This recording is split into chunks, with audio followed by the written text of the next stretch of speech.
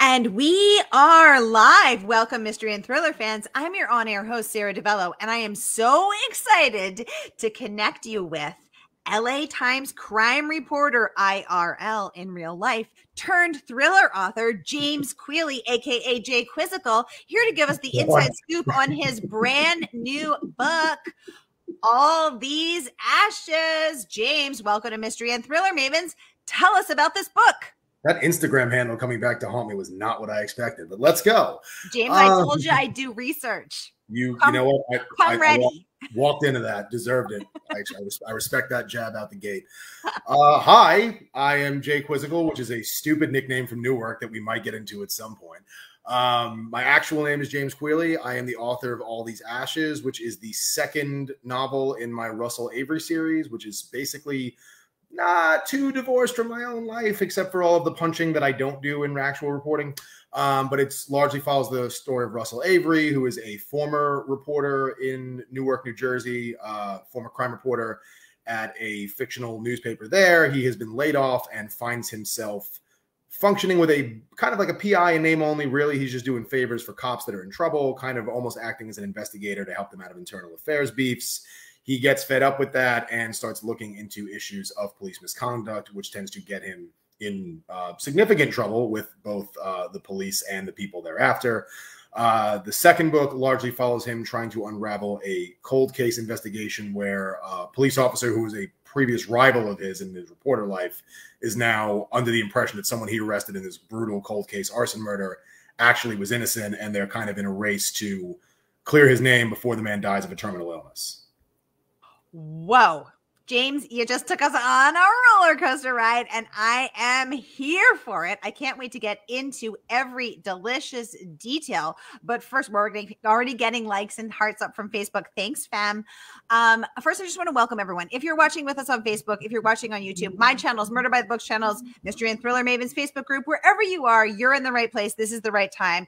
If you've been here before, you know how it works. This is your time to ask this real life crime reporter anything you want. Ask him about his beat, ask him about his writing, ask him about his book, ask him about the difference between newspaper writing and book reporting. We're going to get uh, newspaper reporting and book writing. We're going to get into all of that and more, but this is your time. So get those questions going in the comments. I want to welcome Vicky, Jean, want to welcome Irma, want to watch, welcome everyone watching on YouTube. Um, let us know what you would like to. Hey, Linda, good to have you. Um, let us know what you would like to ask. Now, James, this book is getting crazy good praise. S.A. S.A. Cosby raving. James Queally takes the skills he has acquired as an award winning journalist and puts them to devastating use as an author. Let's talk about that quote. Let's talk about um, how you put these these skills to devastating use. So first of all, uh, let's talk about the newspaper skills translating over to book writing, and then let's talk about the devastating use. How do you do that? Uh, mostly so I could finish a book because I had, I had tried to write. There is a there is a terrible version of a Newark novel uh, buried in a drawer somewhere in there from my early twenties uh, one of my colleagues at the uh, Star Ledger, who ironically went on to become Riley Sager, but this was back before uh, they got bitten by a radioactive thriller writer, um, you know, had kind of yelled at me, kind of just the obvious advice write what you know, you know, the way I babbled as a night cop reporter, just the way I talked to people on the phone. You know, Riley thought that would be good. Um, good fodder for narration. So I eventually stopped doing whatever it was I was trying to do with that other book and decided to write a reporter character. Um, and I think that's one of the things I generally, you know, kind of take advantage of writing is I, I get to I meet crazy interesting people that otherwise you might not in another job. I have interviewed, you know, I've witnessed an autopsy. I've interviewed luchadors, you know, right after a match. Um, I've had more than a few run-ins with people on the wrong side of the law, uh, police officers that have done heroic things. I've interviewed police officers in mid-scandal. You know, you just come across a lot of the characters you want to put in these books, and I have, you know, enough, thankfully, just been fortunate between Newark and LA, come across enough voices that you can come up with these believable characters. You come up with pastiches of sources you've made over the years, and they they can become become compelling. So yeah, it's almost like I get to pluck people out of reality, me transmutate them a little bit for my purposes, and you do at least I think hopefully create a kind of compelling world with rich and layered layered people. Ooh, a compelling world with Richard, rich and layered people is a hashtag writer goals. So let's talk about how your writing skills. Um, did did your writing as a reporter help you write shorter, tighter? You know, did you or did you was that harder to have to to to create a hundred thousand words? I mean, what was that like to shift brains from reporter to thriller author? I think it's a double edged sword. Um, I can you I almost find myself more excited to write fiction than journalism sometimes. Not that i don't love my job not that i don't think it's super important but news writing is constrained. It has to be you know pretty down the middle. It has to be uh, you know i get yelled at sometimes for writing like purplish prose leads because you know the fiction brain takes over and bleeds back into the courtroom copy of the verdict story i'm doing that day. Um, but you're you're not constrained in fiction. And also i can curse more which i love to do and i'm going to do my best to not do here. But four letter words are like half my vocabulary so I can do whatever I want prose wise with that. Um, the other side of it is I am so uh, obnoxious about fact checking in real life that I sometimes don't let my imagination run wild in the crime fiction. I think my books to some extent benefit from their authenticity, but I also will. I have had you know both of these novels. Uh, the lovely Jason Pinter at Polis has had to chop out you know me explaining exactly how a probationary hearing would work or why this piece of information would be in a prelim transcript. And she's like, people, people don't care about that. Like, you're not doing, you're not actually, you're, you're only a court reporter from nine to five. Like, cut it out now. So it, so it, it helps and it hinders, but I think it helps more. But there's definitely there's still there's still ways you trip. Uh, you are getting people uh, laughing already at your fondness for four letter words, James. I love it. And feel free to drop them. Margaret Bernard saying, Hello, James Queally. Margaret joining us live from the Pacific Northwest. Margaret, welcome to the conversation. Always a pleasure to have you. Leslie saying, Hello from Canada. That's her signature Canadian hello. Brings me so much joy. Leslie, always a pleasure to have you. Margaret saying, um, oh, Melissa saying, Hi, James and Sarah. So happy to join you live. Melissa, welcome from Australia. Thrilled to have you as always. Thank you for joining the conversation. Margaret saying she would love to hear about the difference in craziness from reporting uh, writing life versus craziness from novelist writing life. Let's hear some of these crazy stories, James Queally. Uh, oh, so you want a crazy reporting story? I mean, yeah, I guess. Give, I us, guess give us one of each. Give us some. Give us some yummy, tasty tidbits from both of your lives. Uh, so I did make a joke about n- Russell gets in dust ups a lot more than I do at work, but I did get punched out on one of my first crime scenes in Newark back when I was a child. Um, not a literal child. I was like 21, but that's for reporter purposes. I might as well have been an infant. Um, so I get called out to the scene of a double shooting midday. I'm just following a scanner report. I don't really know what's going on. And this is before, you know, I, I think I was basically a post grad intern. So I was still showing up in like suits almost to work every day, which uh, not how it works when you do actual journalism in the actual street. So I walk up to the scene. Cops aren't talking to me. I don't have any sources yet. I don't really know what's going on, but the crowd is agitated. I can't see. I'm assuming this is, you know, like a double homicide. This is something tragic and just somebody is near the um the the, the police tape and they just start yelling at me. I was working for the Newark Star Ledger at the time. That was the paper I was at previously. They just start yelling, "Star Ledger, what you got?" And I'm like, "I don't. What What does that mean? I don't know what you're saying." I, am holding the notepad. I'm like, "You asking what happened?" And he goes, "Star Ledger, what you got?" And I'm smelling a little midday sauce coming off this guy. Um, but I can't. You know, he keeps doing this and doing this, and like shoulder bumping me, and I don't really know what's going on, but I'm trying to ignore him. Um, and some woman starts running out of the crime scene, like screaming that she saw everything. And I'm like, oh, great. For I'm trying to get her attention. She's pushing past the cops. I think I'm going to get this great interview. And I hear him yell again. He goes, Star Ledger, what you? And he's like, what you guys screaming in the back of my head. I turn around and I go, what? Just, just right, on, right on the nose. Down I go. Down he goes. What? Yeah, he passed out. He was wasted, clocked me, and went down.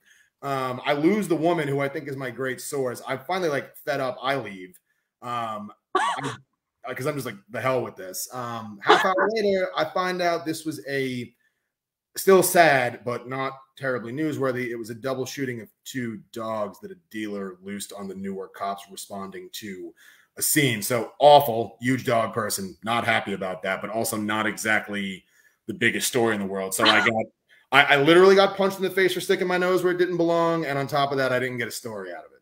Oh my God, that James, what a crazy! But yet, you, you, nevertheless, he persisted in his life of crime, reporting.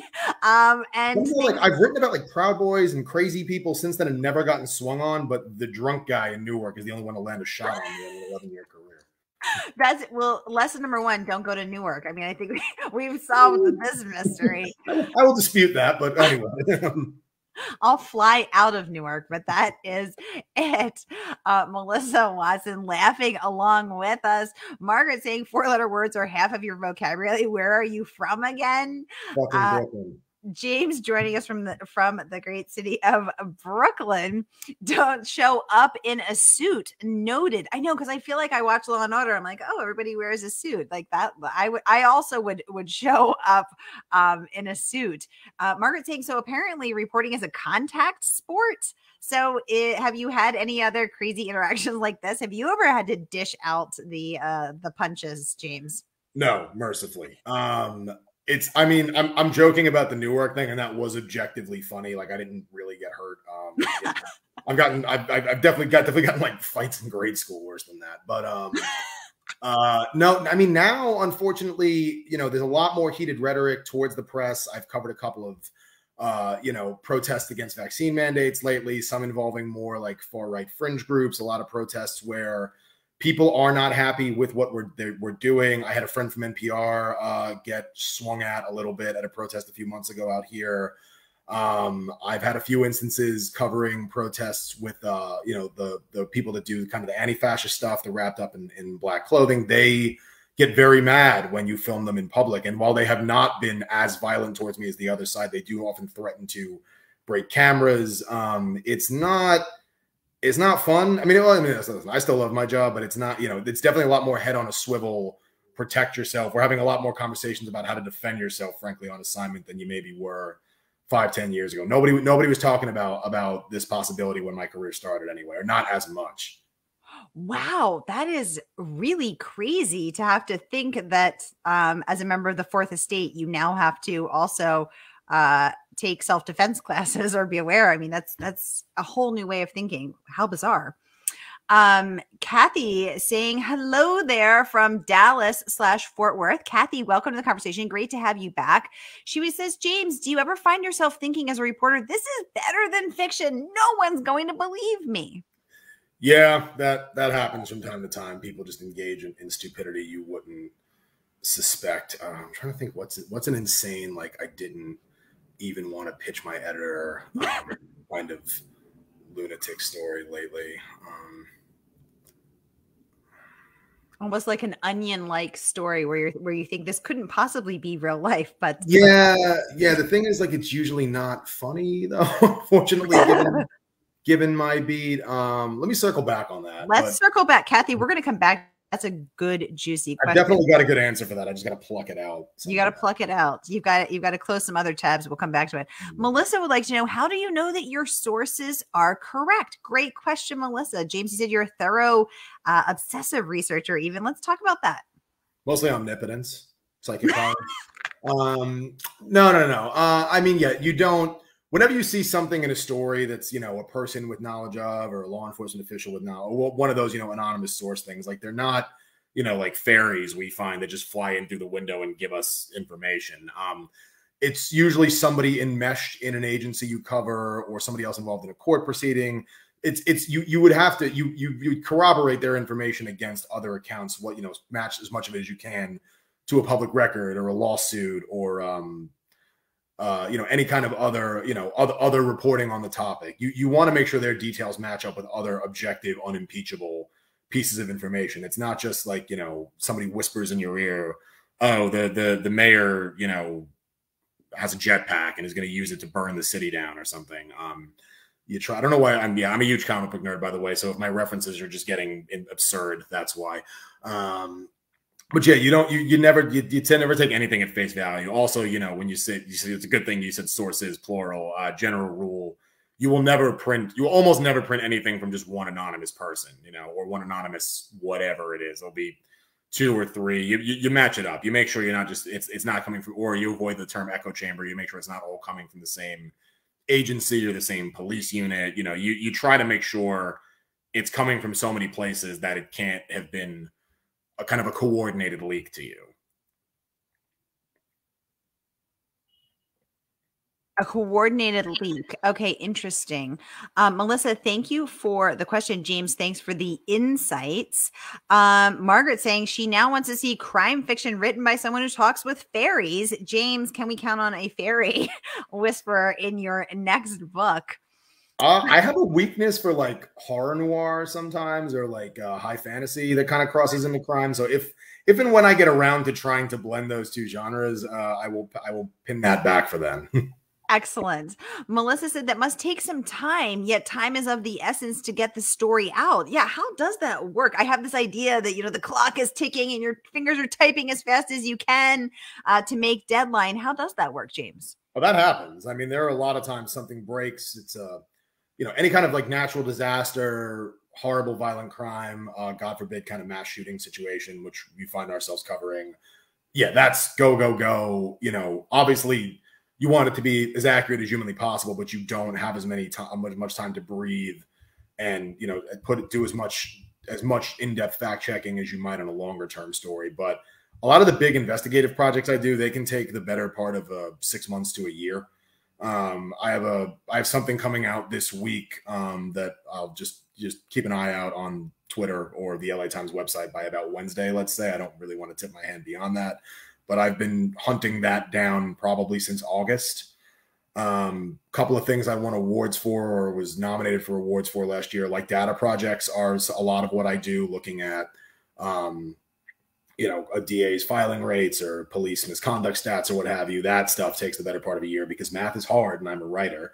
Um, which is why Ben Poston, if you're listening, does all my math for me. Um, but uh, I, you know, I, I, do the back of the envelope crime data math. But once we got to start doing, you know, formulas and quadratic equations and nonsense, that's his problem.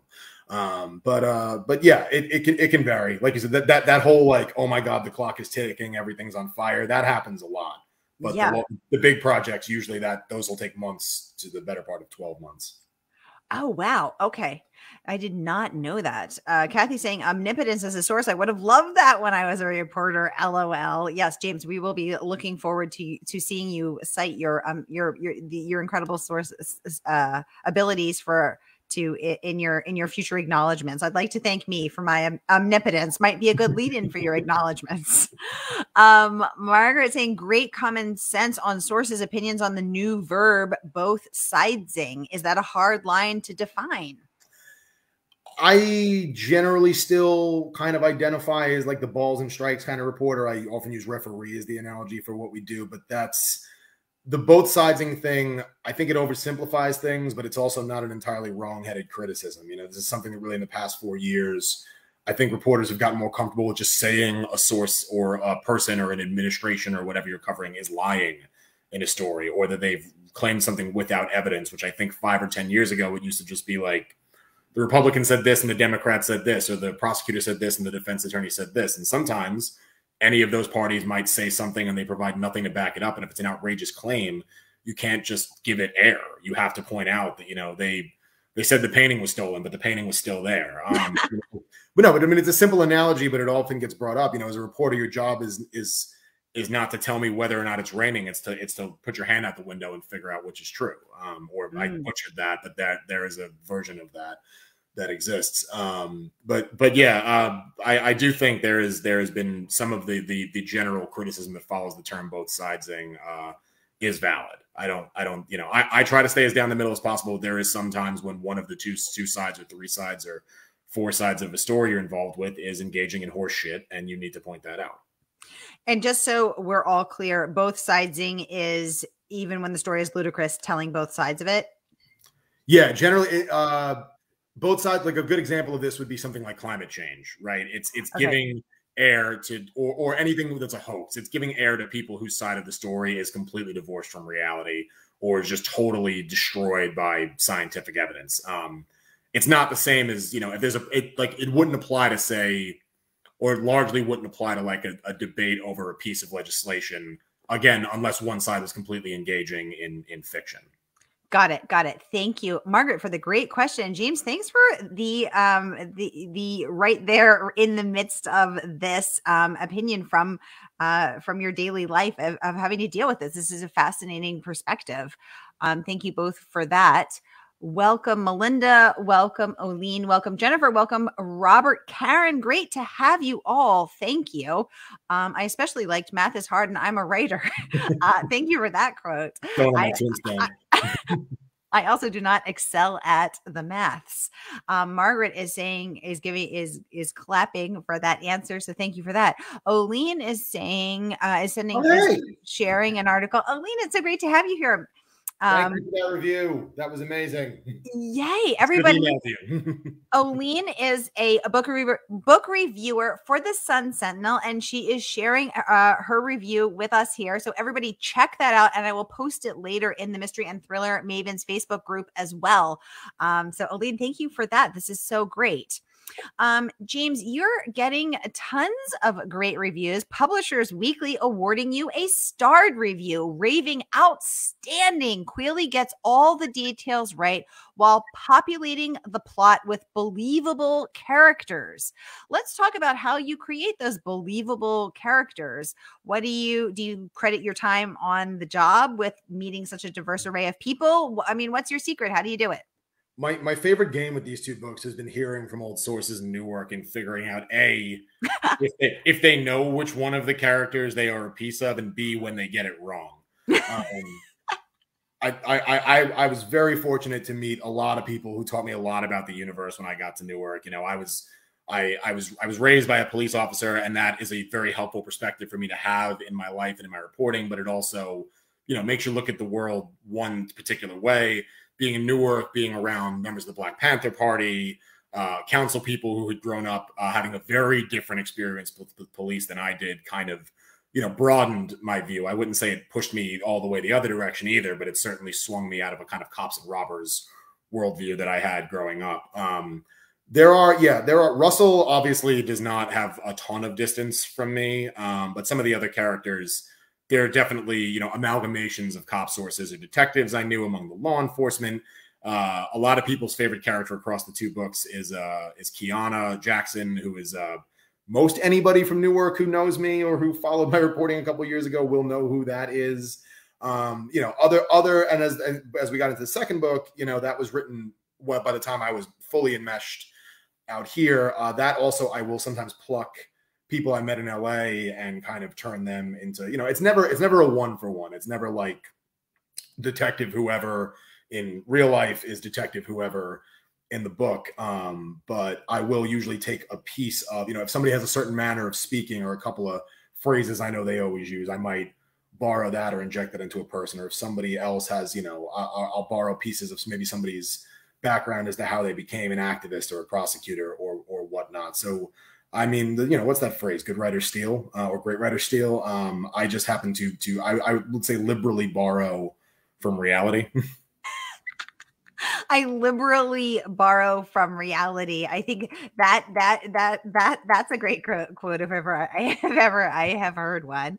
Um, and thank you for that um, inside scoop on how you do create these characters, um, which Publishers Weekly is praising. Booklist also awarded you a starred review, saying Queally himself, a crime reporter for a former crime reporter for the Star Ledger in New Jersey, brings both reporting expertise and novelistic flair to this second Avery mystery absorbing throughout. Congratulations on that starred review. Uh, let's talk about the novelistic flair. When, how, how do you do it, and when do you deploy it? When is it too much? Did did your uh, did your fearless editor Jason Pinter have to reel you in? Um, give us the scoop on that. I think he was he was I, there were I believe there was less. Uh, sometimes he calms down. Russell can talk way too much, which is my own disease. Um, I have, I think that goes back to what, some of what you were saying before, right? About the getting, having the, the shackles taken off from the writing style from journalism to, um, to fiction. I definitely get into, you know, I have a lot to say and I'm just going to say it mode or what is that?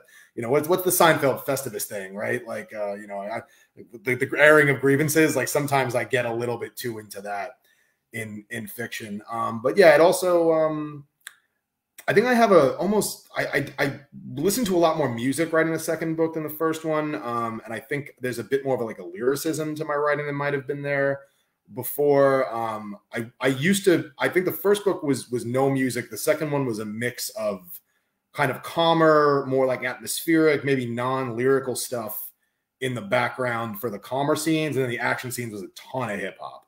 So I think that kind of braggadocio approach, especially. There's a lot, lot of run the jewels with this record for uh, friends of mine who know me. So, uh, Kill, Kill, Killer Mike and my reporter character both tend to talk a lot of shit, so that would uh, explain something. Um, but yeah, I mean, and it, it all boils down to the, the action sequences. I tend to just kind of focus on you know short short bursts. That's where I kind of tran- transition. I think the journalism helps. It's just this is happening, this is happening, this is happening. You don't stop to stare at like and wonder what that like bent beam in the ceiling warehouse ceiling or whatever might might mm-hmm. mean. Like you just kind of i just kind of get to that um almost like don't think just just right kind of mode when when in some of the tenser action sequences especially in the backside of the book. Ooh, interesting how listening to music, the, both listening to it at all versus writing in silence, could impact your writing and also the kind of music um, as I I will be I will be now reading the rest of this with that in mind, wondering if I can match the songs to that to that mode, James. Um, Margaret is saying she just visited your website. What a great bio, a poser hitman who never actually killed anyone. It makes me think of Lawrence Block. Um, does he get a place among your favorites? Uh, Lawrence Block or the or the story you're referencing?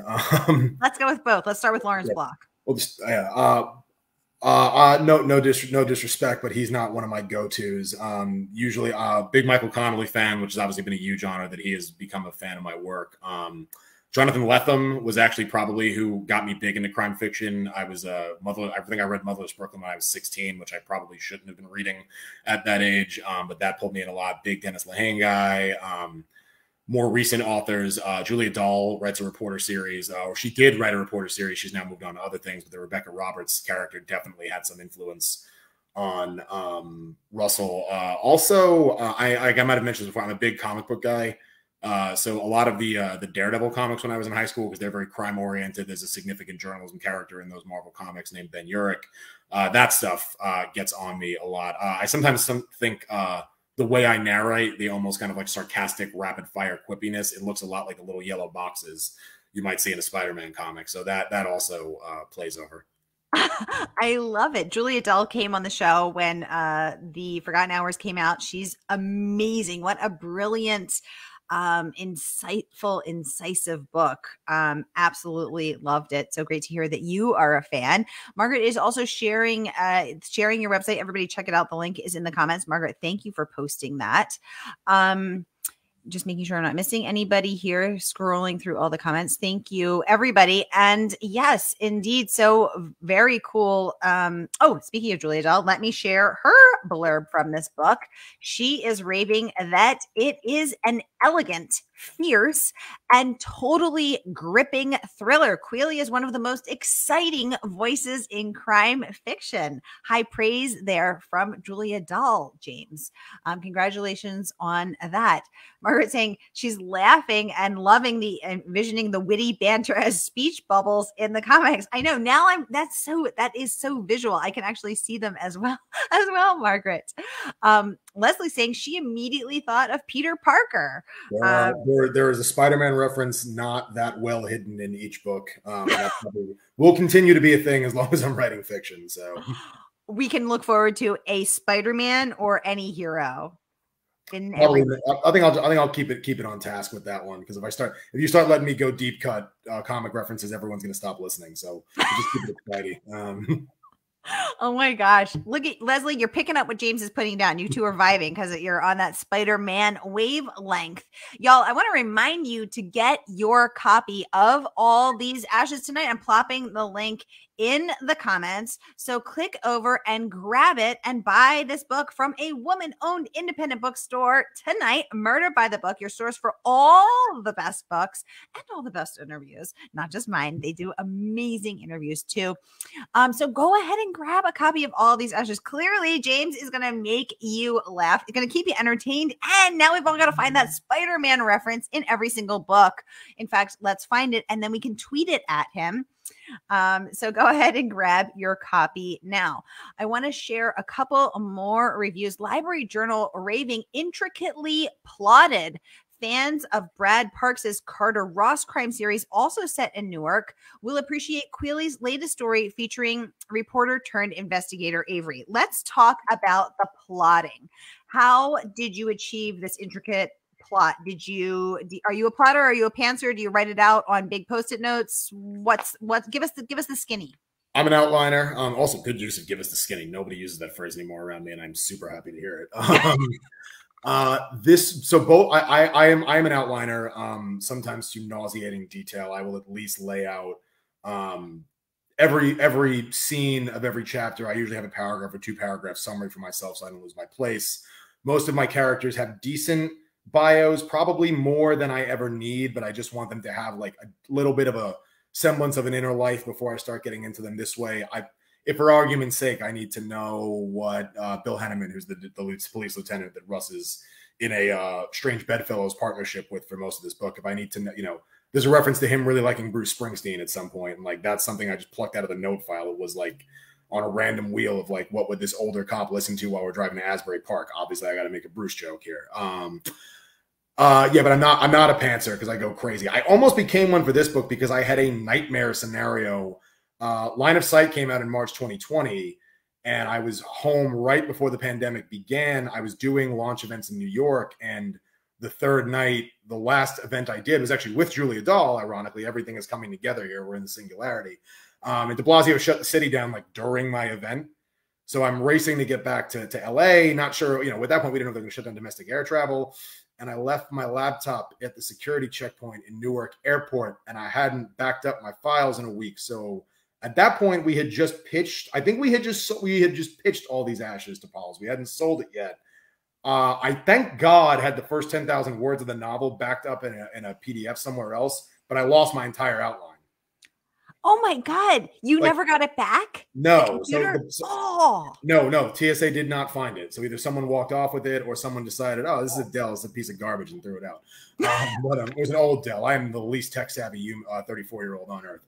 But um, so I had to re I had to re-outline the book, and I'm pretty sure the plot changed as a result because I just couldn't remember how a lot of stuff worked in the second. Like I knew the ending, I knew who did what, I knew the general and the the the the story this uh, this you've mentioned Law and Order before. The story, the main story, the main uh, homicide is a transmutation of a pretty infamous and horrible uh, Newark murder.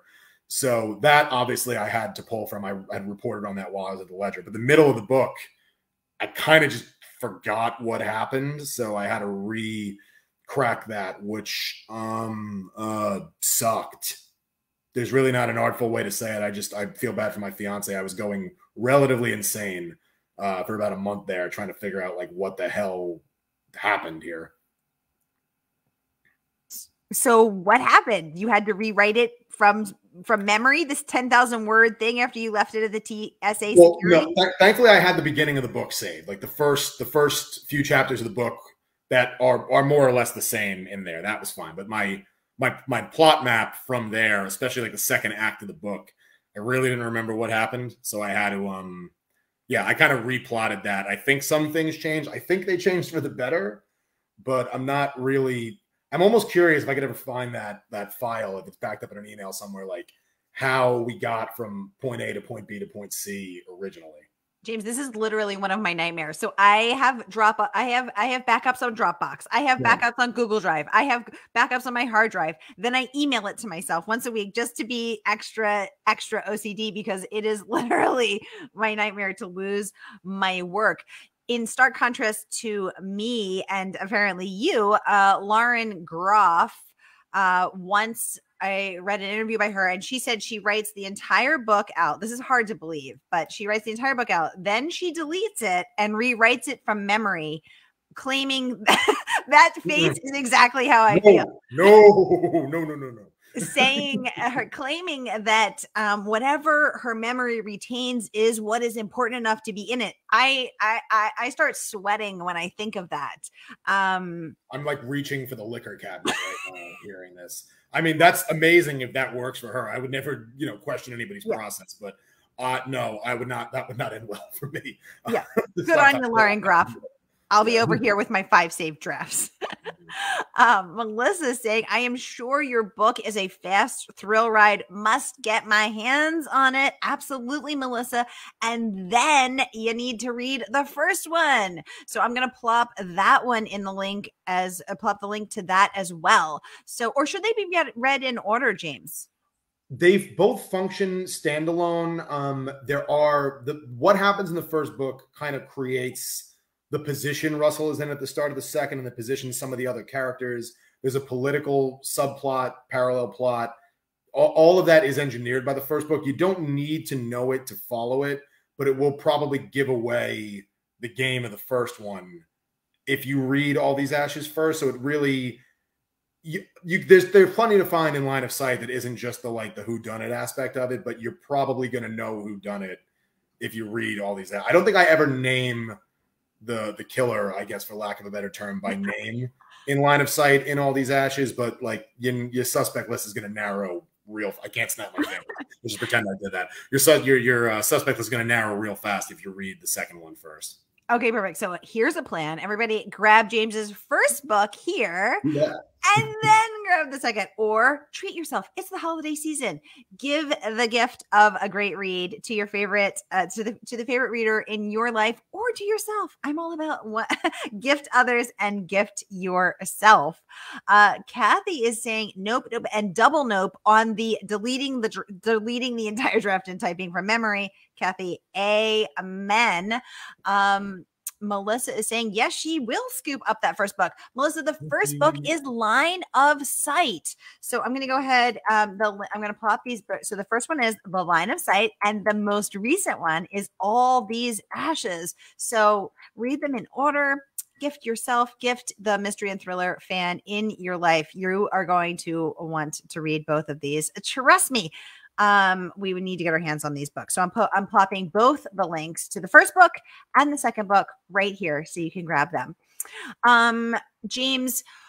Thank you. Oh, Melissa's giving us a thumbs up. Yay. Melissa, get your hands on. And then let us know what you think about it. We always debrief later uh, on all of our reads. So, James, I may circle back with any, with any, with any, uh, with, with, with both constructive criticism and, uh, and praise. People are laughing on Facebook. I'm just kidding. I'm sure it's all praise. Um, James, anything that um, oh, speaking of Michael Connelly, your fan, your uh, who's who you said you are a fan of, and who has since become your fan. He raves of your first book. Um, line of sight signals the start of a great career. Veteran, veteran journalist James Queally brings all his insider knowledge of the intersections of crime and police and politics and media in a story that never stands still for a single page. I'm going to pop that up briefly because James being very mysterious. We can only we can only see his mysterious eyes.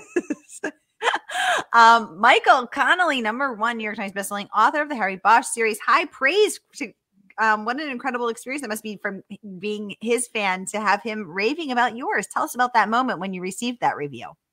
Uh, yeah, I've I've had the the good fortune of interacting with Michael a few times over the past few years, and each one was, yeah, just kind of stunning to hear him say anything nice about me because he's basically the grandmaster of modern detective fiction. Um, I actually met him a few years earlier. Uh, somehow, I ended up on a BAFTA panel, like the British uh, uh, Academy of Film and TV. oh, interesting. Let's pretend I got that acronym right. I was close. I was like eighty percent there. Um, and yeah, we ended up pretty much on a stage together answering questions from film students. This is before I even published my first book. They just wanted a journalist there. And yeah, he actually, um, you know, nothing, he had better things to do probably, but he actually stuck around and like kind of talked me through. I kind of just had to pull him aside. I was like, I'm trying to write novels. I work at the LA Times. You pulled this off, you know, 20, 30 years ago. Like, how because you mentioned like switching, switching. Yeah. It took me a while to figure out how to like turn that switch. It's like, okay, it's six o'clock. I'm done with journalism. Let me eat dinner or go work out or whatever, and then start writing fiction. He kind of talked me through what motivated him to to get out of that. And yeah, he's been he's always been very very open with advice and generous with praise in his time. Um, and I've always really appreciated that. I mean, I'm a, obviously been a huge fan of the Bosch books, just like most of the rest of the world who reads this genre. Uh, I also have a weakness for his Jack McEvoy character because you know, journalists, you're going to like your own. So him to see to see him have a have a positive reaction for a book that I you know hell I didn't know if it was ever going to get published two three four years ago whenever I started writing it. Um, that was uh that's still it's still weird to be saying this out loud right now that like it's like I'm just it sounds like I'm making this up as I go along. It's like no, that happened. Like, really, James. So even as a, an award-winning journalist, it still feels surreal and exciting. It's surreal. It's exciting, and it's still nerve-inducing. You know, I wasn't. I, I was convinced the second book was awful. Uh, I feel like a lot of writers think that you know they say the oh the curse of the sophomore or whatever. yeah, yeah, exactly. I was, when I turned in the first draft of that, I was like, well this sucks. Hopefully Jason likes me. And apparently I was wrong about the first part. I think he likes me.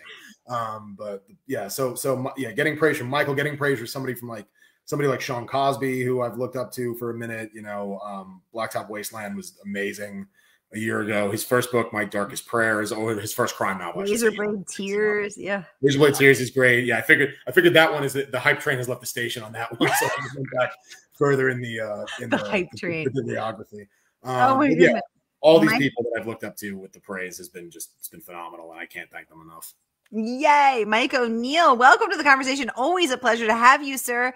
Chiming in saying Jason Pinter is great. Jason Pinter is great. He's been on the show twice for his books. Um, and and and he is always such a great guest and a great guy. Um, so good to know that you've had a good experience with him as your editor. Mike, great to have you as well. Um, well, y'all, it looks like we have time for about one or two more questions. We're almost out of time, but I bet I can we can fit more one or one or two more in for the speed round. So get those questions going. Um, meanwhile, I will ask James, what do you want people to leave your books? You know, learning, feeling, having experience. What do you want them to walk away from your pages? with? Uh, I think it's uh, you know the, the, understatement of the year is we live in polarizing times, um, and I write normally about groups that are constantly in conflict, be it law enforcement, the media, uh, criminal justice reform activists, people that are, you know, on the wrong side of the law, but maybe trying to do better. These are groups that normally don't understand each other. You know, a lot of criticism I hear about press comes from a place, it seems more of ignorance than actual frustration. And I don't mean that in an insulting way, but more you just don't know how it works. I find that often I, I every every day I make assumptions about policing that I'm wrong about, or I make assumptions about defense work that I'm wrong about. I might make assumptions about about people that have you know defendants in cases that I'm wrong about. You know, there's just there's a lot of there's a lot of entangled um, you know conflict between these groups, and a lot of people just judging groups instead of individuals. And I, I you know, one of the the best pieces of praise I felt like I got for Line of Sight wasn't I love the star reviews, and I'm super glad that Michael Connelly loved my work, but it was a it was a law enforcement officer who shall remain nameless, but you know somebody who pretty much read it and was like, you know, they had a much different opinion of protesters of groups like Black Lives Matter before, and they'd never really thought about what it was like being on the other end of a gun and a badge. And like this person certainly did not suddenly, you know, retire from policing or anything, nor would that have been my aim, but it at least opened up their worldview of a group that they otherwise had an antagonistic relationship with. And I sometimes hear that going the other direction as well. And maybe that's just the reporter in me that we try to, like I said, referring to us as referees. But I just hope if you're if you are if you go into these books and you have a really deeply negative opinion of one of the the main groups in that intersection that gets talked about, right? Police, media, protesters, what have you. I just hope you know that I'm gen- what I'm pouring into those characters is from my real lived experience with those groups. And I hope it maybe just makes you look at them in a slightly different light. You don't have to like them, but maybe you try to understand them a little better because that's kind of what I think makes the books work. Is I don't, I'm not on any of these teams. Mm. I don't, I don't really spare the press either. I slap around my industry uh, with reckless abandon in these books.